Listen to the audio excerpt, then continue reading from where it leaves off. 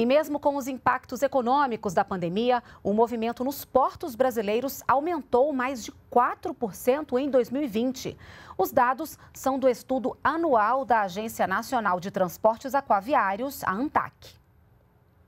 Portos públicos e terminais privados movimentaram mais de um bilhão de toneladas de insumos em 2020.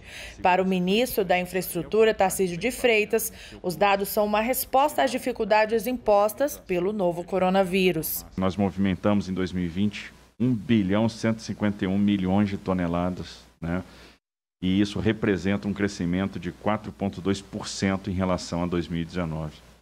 Isso é extremamente gratificante, né? É muito bom perceber que nós conseguimos apresentar respostas depois de um ano tão difícil. O destaque foi para o Porto de Santos, que movimentou mais de 114 milhões de toneladas em 2020, um recorde histórico. Os dados foram divulgados pela Agência Nacional de Transportes Aquaviário, a ANTAC. Segundo a agência, o minério de ferro foi a carga sólida mais movimentada pelo setor em 2020, 356 milhões de toneladas no total.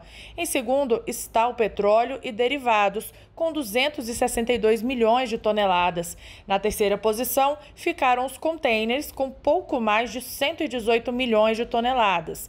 O agronegócio também apresentou alta. A soja ocupou a quarta posição, com 104,2 milhões de toneladas. O setor manteve os mais altos níveis de, de, de, de prestação de serviço e garantiu que os nossos produtos é, continuassem a ser exportados e mantivessem nossa economia é, aquecida, é, permitiu que os produtos importassem, continuassem a, a importados continuassem a abastecer a, o nosso mercado interno, inclusive nossos, nossa rede hospitalar, nossa indústria farmacêutica